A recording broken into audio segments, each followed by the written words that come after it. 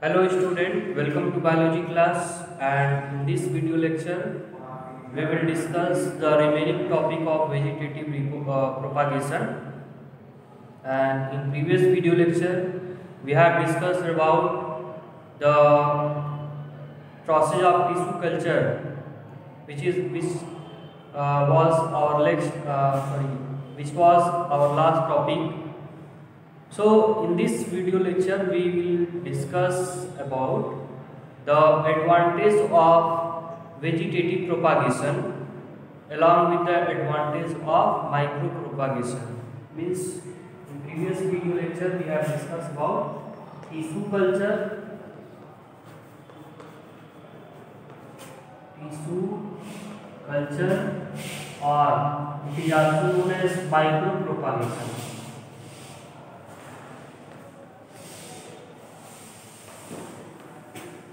Tissue culture is known as micropropagation because this kind of propagation done or take place with the help of uh, or by using microscope in laboratory and this propagation take place with a small or micro element of the plants from the growing region. It means in tissue culture we require a cell or a small tissue from the growing region of the plant's body or dividing region of the plant's body. So this is the reason why it is called micropropagation. Now we will discuss the advantages advantages of tissue culture sorry tissue culture और micro propagation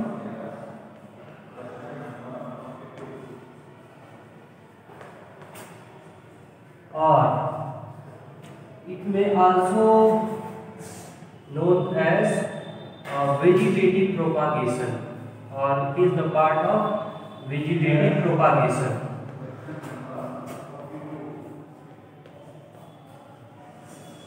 so so, the question may include the term all these terms. That means the question may ask for the advantages of tissue culture or advantages of micropropagation or advantages of vegetative propagation. So we can uh, do same thing or we can uh, understand or study same thing for all three uh, topics. That means tissue culture micropropagation or vegetative propagation. So let us start the various advantages studying various advantages of vegetative propagation. So the first advantage of vegetative propagation is it is it is uh, an easier method of propagation. It means the propagation take place vegetatively can be done easily means there is no any uh, extra technique uh, or advanced technique is required for the vegetative propagation. The second advantage it is a cheap cheap method of growing new plants.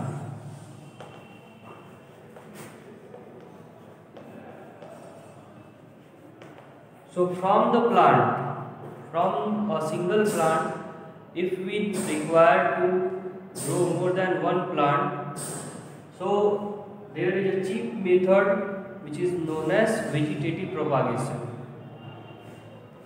It means there is very less amount of expenditure uh, responsible for vegetative propagation. Now the next advantage is the production of or it produce identical product. So during vegetative propagation the product or offspring will be identical to the parents. It means uh, this leads to identicity leads to the conservation of it means it helps in conservation of desirable traits.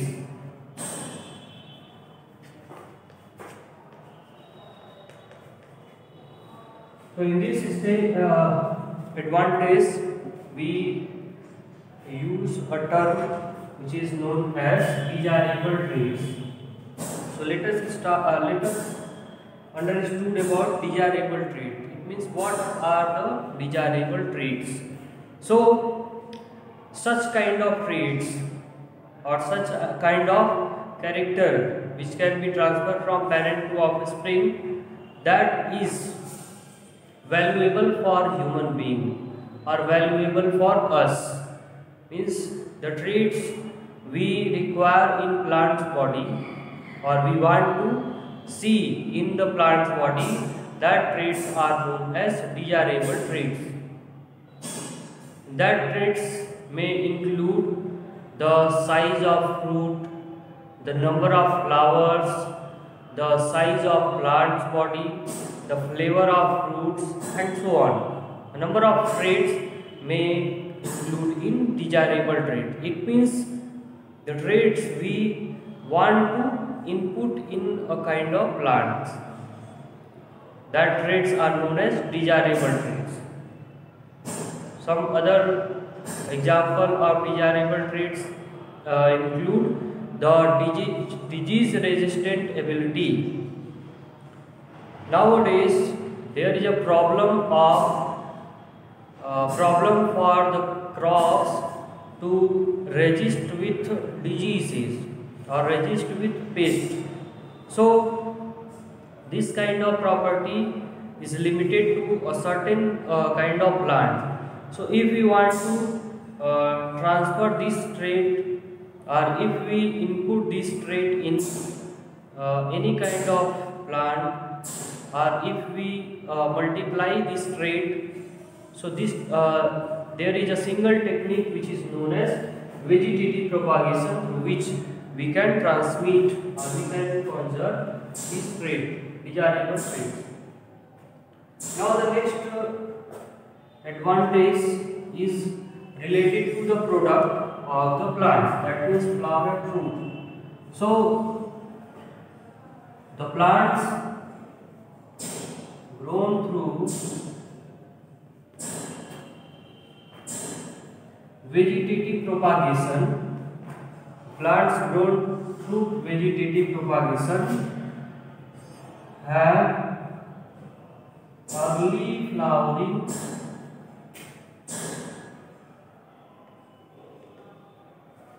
and fruiting.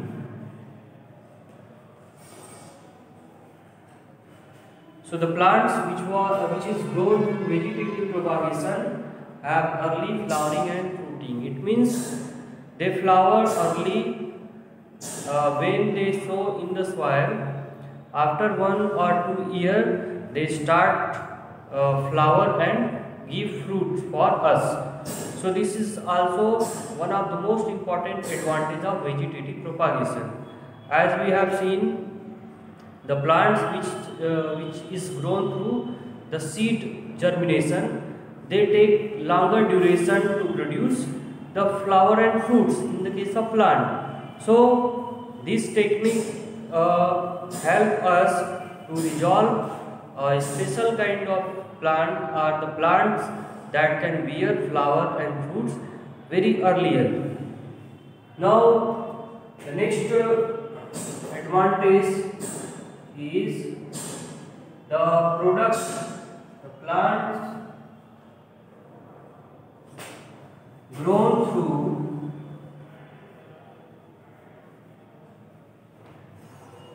vegetative propagation require less attention.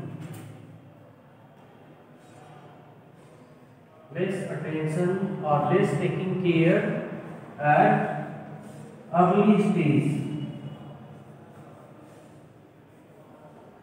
So this is also controversial for the seed germination or the plants grown through seed in the case of plants which need to grow from the seed we uh, that process that technique require more attention of the human being for their germination as well as for their uh, viability or susceptibility to the environment that particular environment.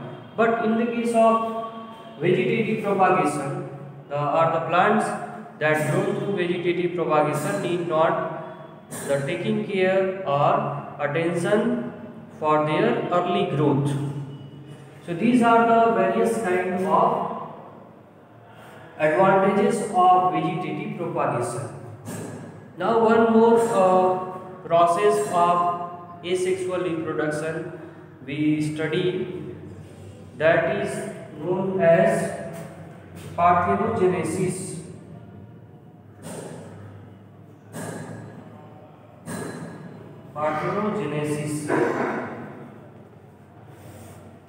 so parthenogenesis is a technique और it is a natural method not artificial because artificial is known as technique so parthenogenesis is a natural process by which the individual or any or some organisms can produce or can reproduce without fertilization.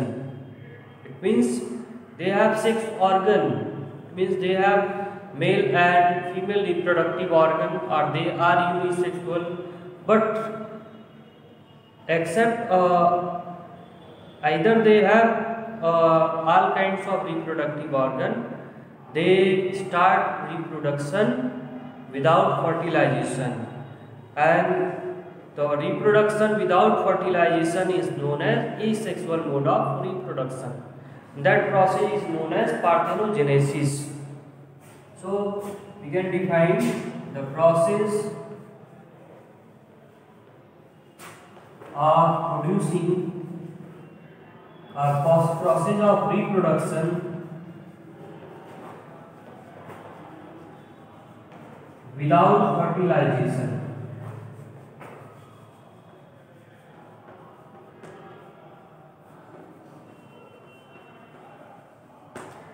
and this method of reproduction occur in the case of some insect this is the example of some insect fish amphibians and reptiles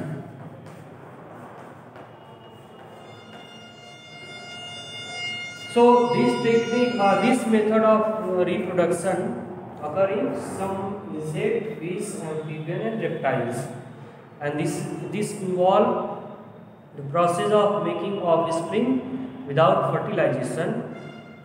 So without fertilization when they will produce offspring that offspring will be similar to the product of vegetative propagation or asexual mode of reproduction. And it means that product will be identical to their parents. And the process of parthenogenesis involve or include a technique and that technique uh, or in that technique the female body the female body means the body in which the offspring grow and uh, comes and or that body from that uh, the offspring comes out to live. So in the female body there is a small modification or there is an addition and that addition is what the additional amount of embryo during the birth of female offspring. An example of aphids, aphids are the insect, aphids are the pest which uh, affect maximum amount of crops throughout the year. So these aphids have uh, ability of parthenogenesis. It means they reproduce without fertilization. So in the case of aphids, it was observed that the female offspring, the birth of female offspring observed as they contain additional uh, amount of embryo in their body by birth. So this embryo when this insect becomes mature this embryo get uh, develop and produce offspring without any kind of fertilization. So it means before reproductive uh, maturity the occurrence of embryo ensured the formation of offspring without fertilization in the case of parthenogenesis. So this is the reason why parthenogenesis occur in some organism? Because the female body contain embryo by birth in their body. So this is all about the advantages of vegetative propagation as well as parthenogenesis. So in next video lecture we uh, start the new or the second type of mode of reproduction that is sexual mode of reproduction. It means we have completed the asexual mode of reproduction till now.